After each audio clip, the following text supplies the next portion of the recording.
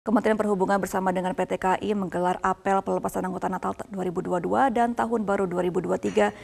di Stasiun Gambir, Jakarta Pusat. PT KAI menetapkan masa angkutan Nataru mulai hari ini 22 Desember 2022 hingga 8 Januari 2023 mendatang. Informasi selengkapnya kita terhubung dengan Syekha Al-Hadar dari Stasiun Gambir, Jakarta. Selamat pagi Syekha, bagaimana situasi terkini di sana dan bagaimana kesiapan dari PT KAI menghadapi musim libur Nataru tahun ini?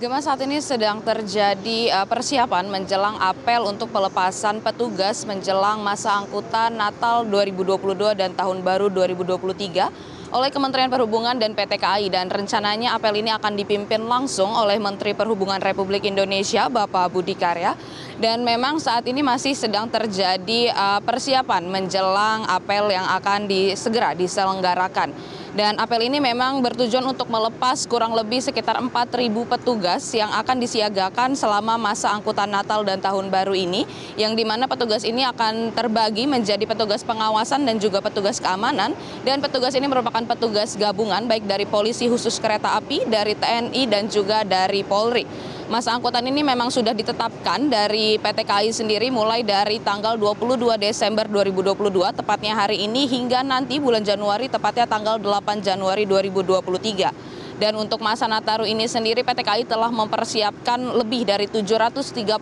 ribu tiket yang siap diperjualbelikan kepada masyarakat yang ingin menikmati uh, hari libur di akhir tahunnya. Dan hingga saat ini update dari kemarin tanggal 21 adalah sudah terjual kurang lebih sekitar 258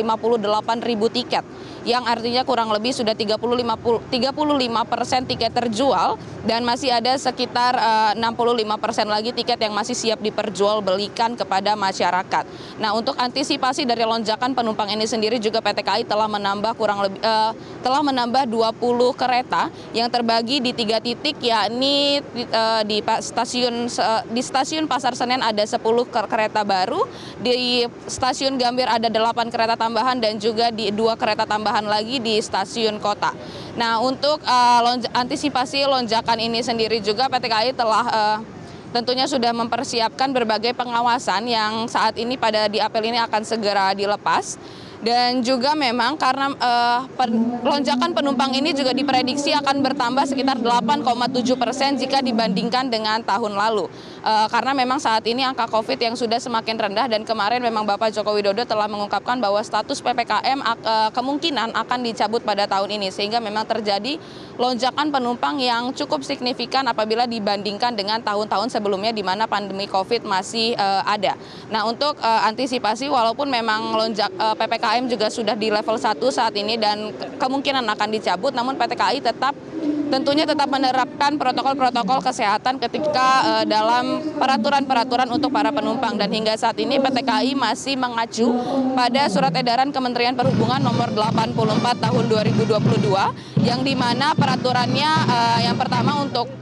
penumpang di atas 17 tahun harus divaksin ketiga atau vaksin booster untuk penumpang usia 6 hingga 17 tahun harus uh, vaksin kedua dan untuk penumpang di bawah umur 6 tahun mereka tidak diharuskan untuk vaksin booster namun mereka harus didampingi oleh orang-orang yang uh, sudah memenuhi kriteria tersebut. Gemah hingga saat ini itu yang dapat kami sampaikan langsung dari Stasiun Gambir Jakarta Pusat kembali ke Anda di studio.